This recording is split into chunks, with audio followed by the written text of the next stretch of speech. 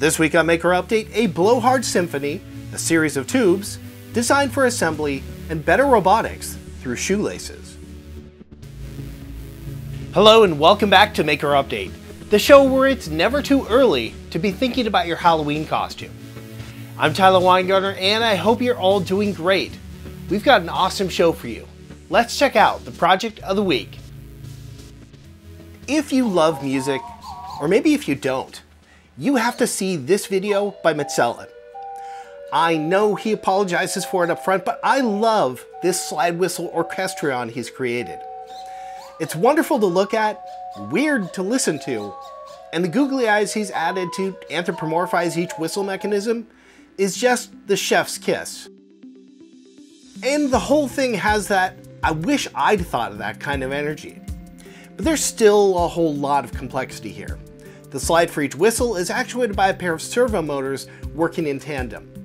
And there's a third servo motor for each whistle, acting as a sort of mute for the whistly bit, which lends itself to the idea that the whistle is covering its mouth in exasperation.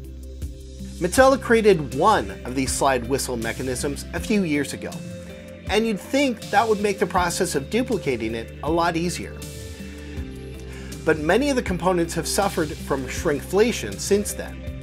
The whistles are a little shorter, the air pumps are weaker and louder, but he manages to overcome. Fortunately, the servo motors he originally used are still available. And the Orchestrion isn't just for pre-sampled music either. It can also be controlled in real time using a MIDI keyboard. It does tend to go out of tune over time, probably because the air pumps aren't consistent in their output. But let's face it, this setup is probably better for humor than musical fidelity anyway, so as he discovered the tuneless nature of the performance only adds to the endearment. I don't know if this makes you want to take a weird instrument and mechanize it, but it certainly does for me. More projects. Speaking of sound through tubes, Sam from Look Mum No Computer has created an entirely mechanical delay with copper tubing. This is based on an old piece of audio equipment called the Cooper Time Cube that had a speaker on one side of a piece of piping and a microphone on the other, creating the delay entirely through the speed of sound. Sam's version is made from one 15 meter coil of copper tubing, a microphone placed in the middle, and a second coil for another 15 meters. Not as variable as your modern digital delay, but, but it has a remarkable physical sound that's just cool to hear. Check it out. A few weeks ago, we talked about this video from Red Bull where they created a drone to compete with Max Verstappen's Formula One car. Since then, there's been a sort of land rush in making the world's fastest quadcopter. And the current claim to the Guinness title goes to Mike Bell and his son. Their quadcopter is a similar design with a sort of lateral rocket ship design. They experiment with different arrangements of motor controllers, aerodynamics, static mounting, and thermal considerations. It's so fast it can't even capture its own footage visually. It has to be confirmed through GPS. Super cool stuff. And from Chris Borge, we have this 3D printed metal lathe. If you saw his previous video about his ball vise, this sudden addition of concrete to the design might seem a little less alarming, though it should add some additional rigidity and mass to the build. The motor comes from a sewing machine, and while the chuck uses standard collets, there's no cross slide. Instead, he's just shaping everything manually. Not a competition for Bridgeport, but a useful tool nonetheless.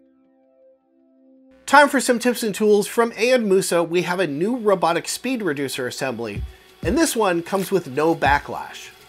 A capstan mechanism. You may have heard about capstans as a mechanism in audio cassette players, but the term comes from an old sailing ship mechanism for tensioning ropes. But it can work for robots too. He takes his time in putting it through its paces, stress testing steel cable, paracord, and a few others, before landing on this extension-free rope called DM20. He finishes the video by using a dual capstan drive to create a 5-bar linkage, and then uses this to draw shapes and even jump. Inspiring stuff. Will Cogley has a new video about his animatronic eyes, and it's all about simplifying his design to make it easier for others to make. In particular, he's applying the design philosophy of design for manufacture, which means you're redesigning it with the idea to make it as easy as possible to assemble. Gone are all 45 screws, replaced by snap-fit connectors. But maybe the best part is his new design for the eyes. Will's exhaustive design for resin cast eyes is phenomenal, but it's not the easiest to replicate. Here's an alternative version that you can do in an afternoon. Adam Savage has a fun video where he answers a question about what three tools and one material are ideal to begin making. Unsurprisingly, his material suggestion is corrugated cardboard. And his tools follow suit, a sharp blade, a hot glue gun, and a straight edge. This setup will teach you all the fundamentals you need for making the basics, and should give you the confidence to tackle bigger projects. And from How To Mechatronics, we have a guide on 3D printed gears. Not only is this a fantastic introduction to the benefits and trade-offs between spur, helical, and herringbone gears, but you also get a look at which ones offer the best characteristics for backlash, torque, strength, and more. When you're working out a complex mechanical problem, 3D printing gears could be a good solution for you. And this video should give you the confidence to get you started. For this week's DigiKey Spotlight, did you know that DigiKey has its own free digital library?